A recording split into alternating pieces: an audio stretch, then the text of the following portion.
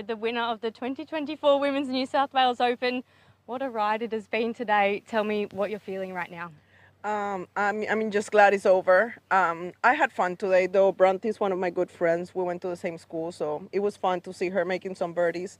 Um, I just wanted to play well. Like if she was gonna take the the trophy at the end, but I play well, I was okay with that. So I'm glad that putt went in on the last hole.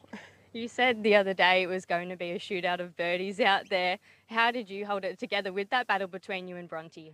Yeah, I, I struggled today with my putting, but I knew the birdies were out there. Like the other days, I was making them, so I just tried to to stay patient. I think the birdie on nine was really big for me, and just not let her go that far, and, and just stay patient. I think the experience worked today that way.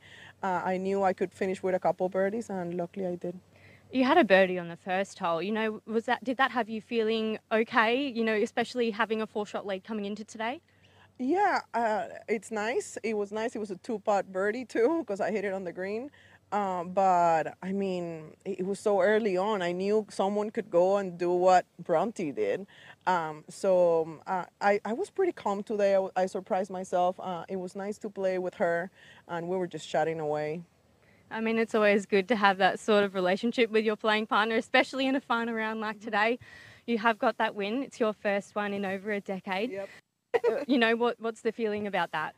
Uh, I mean, yeah. I mean, last time I won was 2011 uh, on a tour, and some girls were probably in kindergarten that were playing with me this week. So it, it's nice. It's worth to come here. I just talked to my husband.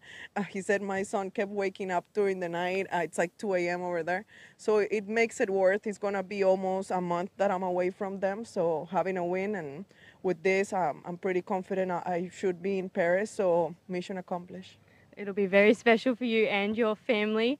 Congratulations again. I'm now going to hand over to Michael Medway, Chairman of New South Wales Wales, I should say, to give you your well-deserved trophy. Thank you. Thank you so much for having me.